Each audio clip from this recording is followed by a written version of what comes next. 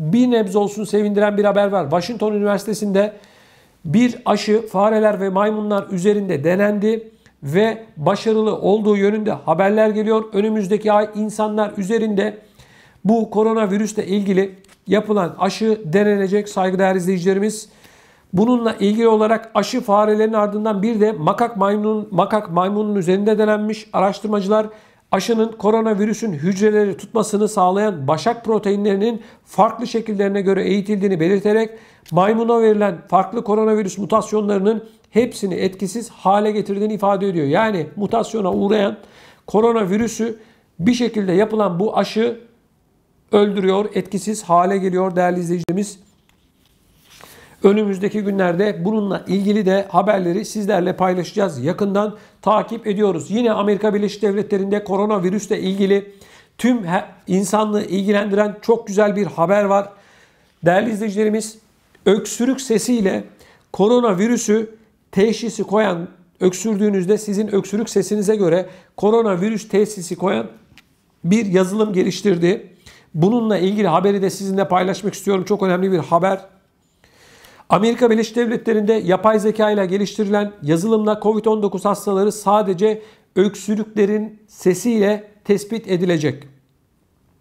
Yazılım koronavirüs testi pozitif çıkanlar arasında vakaları %98,5 doğruluk oranıyla teşhis ederken başka semptom göstermeyenler arasındaki başarı oranı ise %100. Çok önemli bir rakam değerli izleyicilerimiz.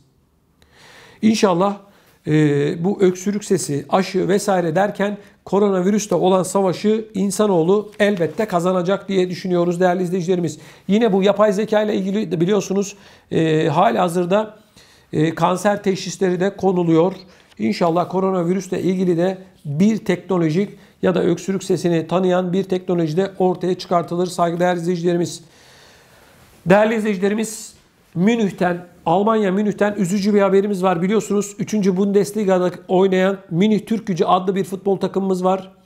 Gün geçmiyor ki bu futbol takımımıza faşistler, ırkçılar saldırmasın. Yine bir haber var değerli izleyicilerimiz. Bir elektronik posta gönderiliyor ve şunu söyleniyor. Köpekler defolun siz Mickey Mouse değil ancak pislik olursunuz.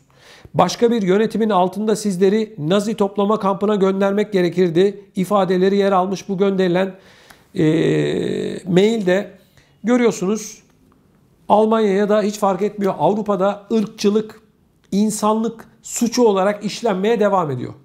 Bunu kabul etmek mümkün değil. Irkçılara da prim verilmemesi gerekiyor. Olacak iş değil. Değerli izleyicilerimiz yine Fransa'da ülke ocaklarının kapatılma kararı alındı. Bakanlar Kurulu böyle bir karar aldı.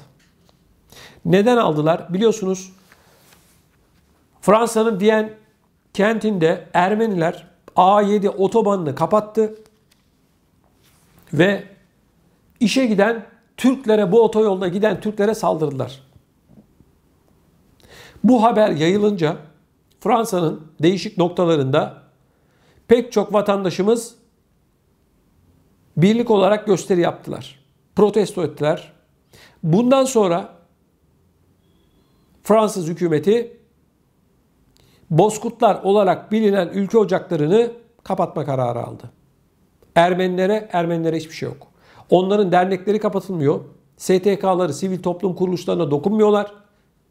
Ama Fransa camileri kapatıyor. Ülke ocaklarını da kapattı. Türklerle olan bütün organizasyonları bitirmek üzereler. Resmen Macron hükümeti Türklere ve Müslümanlara savaş ilan etmiş halde değerli izleyicilerimiz Fransa'da.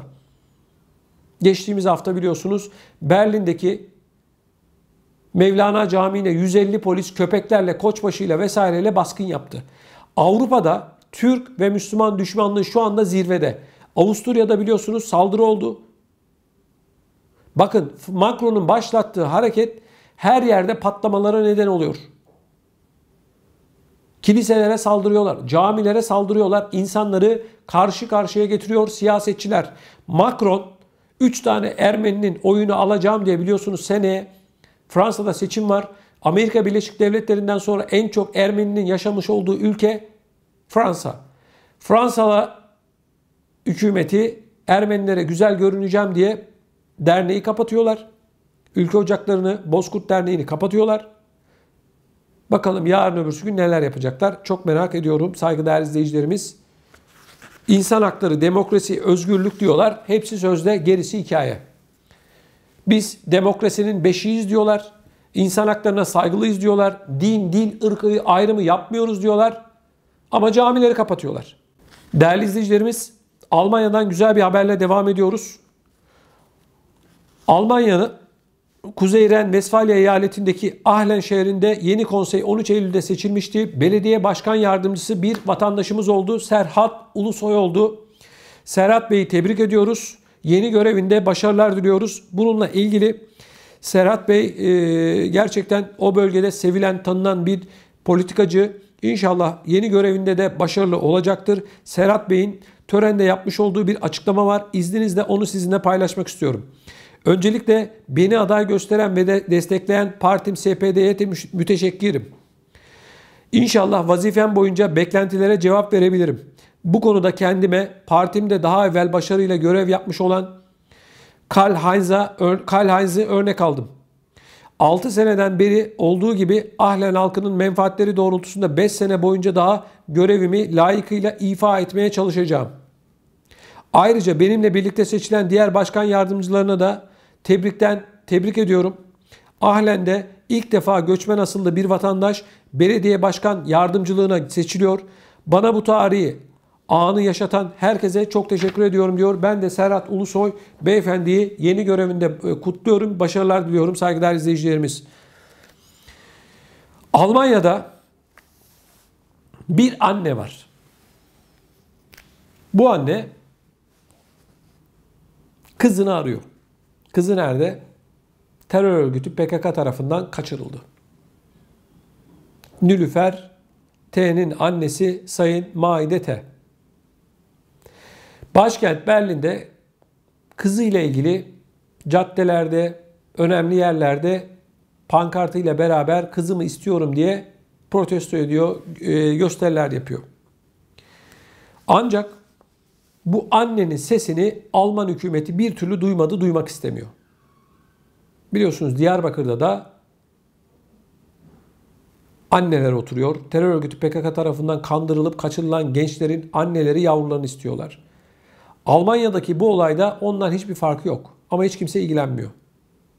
Hiç kimse ilgilenmiyor Maide Hanım'la. Şimdi size soruyorum. Avrupa Birliği'ne göre PKK bir terör örgütü. Terör örgütü listesinde Avrupa Birliği'nde. Ama Almanya hala destek oluyor. Bunu görmezden geliyor. İşine gelmiyor. Daha 3 gün önce Türk vatandaşlarının yoğun olarak yaşamış olduğu Berlin'deki Küçük İstanbul olarak bilinen yerde terör örgütü PKK sempatizanları yürüyüş yaptılar. Esnafımıza saldırdılar. Oradaki esnafımıza. Hiç kimse bir şey yapmadı. Bir kişi dahi tutuklanmadı, gözaltına alınmadı. Evet. Şimdi bir anne evladını arıyor. Ve şunları söylüyor bakın. Bir dönem Berlin'i ikiye ayıran ve utanç duvarı olarak nitelendirilen Berlin Duvarı'nın 31 yıl önce 9 Kasım 1989'da yıkıldığına işaret ediyor. Tek dileğim nasıl Berlin Duvarı 31 yıl önce yıkılıp aileler birbirine kavuştuysa terör örgütü PKK'da bir an önce biter, çocuklar ailelerine kavuşur, bu acı da biter diyor. Bir ana yüreği bu. Evet. Almanya'da 12 Kasım 2019'da okula gidiyorum diyerek evden ayrılan kızından haber alamayan Mayda Hanım, daha önce bölücü terör örgütü PKK'ya yakınlığıyla bilinen Berlin'deki bir derneğin önünde, kent merkezinde Brandenburg kapısında Federal Meclis ve Başbakanlığın önünde eylem yaparak kızının kurtarılmasını istemişti. Şubat'tan bu yana terör örgütünü protesto ediyor ve eylem yapıyor. Görüyorsunuz işte terör örgütü insanların çocuklarını ellerinden alıyor